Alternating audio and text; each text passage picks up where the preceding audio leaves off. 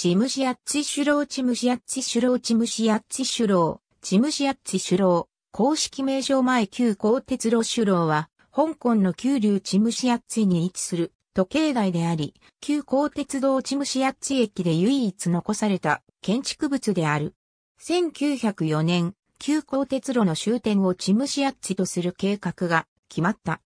1910年10月1日に鉄道の運行が開始されたが、チムシアッツィ駅の工事は第一次世界大戦でイギリスからの工事に必要な資材の出荷が滞ったために1913年になってから開始された。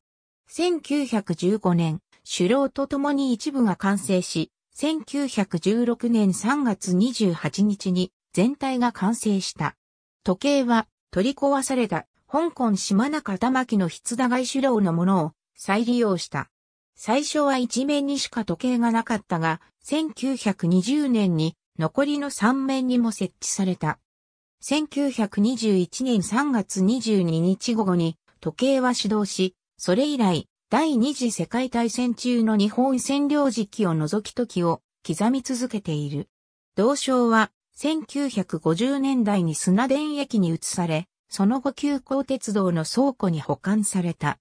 2010年9月、急行鉄道急流、ラコ間、開通100周年を記念して、特別に首楼の地下に置かれるようになった。1975年、旧チムシアッツ駅は新たに埋め立て、開発された紅湾に移され紅駅となった。